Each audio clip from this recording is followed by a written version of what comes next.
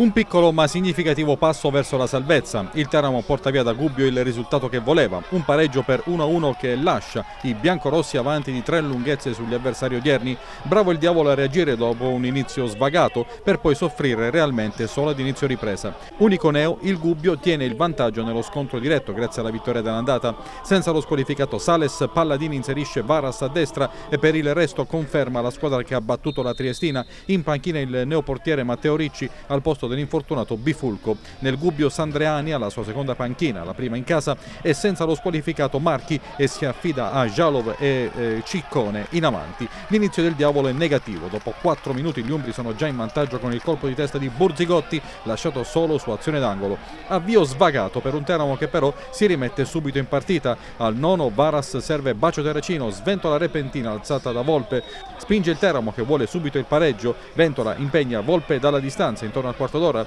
Sugli sviluppi del successivo corner San Domenico mette dentro per l'inserimento di Graziano che corregge di testa un pallone imprendibile per Volpe. 1-1 con il secondo gol in campionato siglato dal centrocampista Scuola Torino.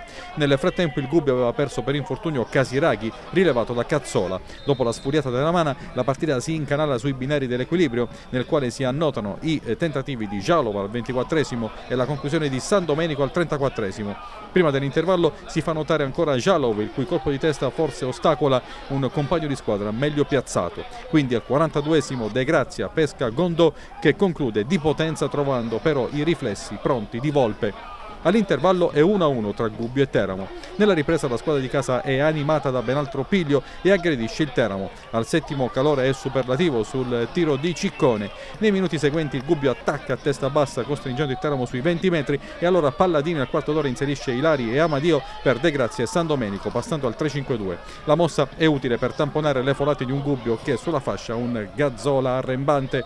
A cavallo della mezz'ora tocca anche a Panico al posto di Bacio Terracino, quindi triplo cambio di Sandreani che mette dentro Bazzoffi, San Pietro e Giacomarro per ritrovare un'altra palla gol, però bisogna attendere il 38esimo quando la sventola di Malaccari lambisce il palo, non accade più nulla, il Teramo si accontenta, gli attacchi del Gubbio sono sterili e i biancorossi senza soffrire portano a casa il risultato che volevano.